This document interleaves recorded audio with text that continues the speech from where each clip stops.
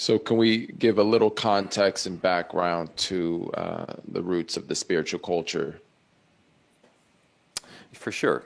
That the, the roots to our spiritual culture actually come from space, meaning it comes from observing, observing the stars. So let's say initially our spiritual system that was in place came to us by the stars and next by the environment.